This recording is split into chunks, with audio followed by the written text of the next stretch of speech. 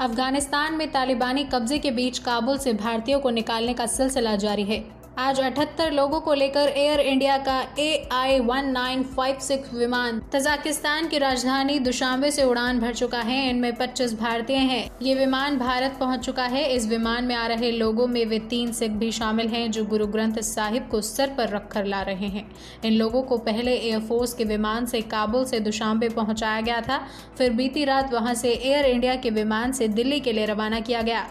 सिख समुदाय के लोगों का एक वीडियो भी सामने आया है, जिसमें वे फ़्लाइट के अंदर ही जो बोले सो निहाल और वाहे गुरु जी दा खालसा वाहे गुरु जी दी फतेह बोलते हुए नज़र आ रहे हैं। ये वीडियो विदेश मंत्रालय के प्रवक्ता ने शेयर किया है।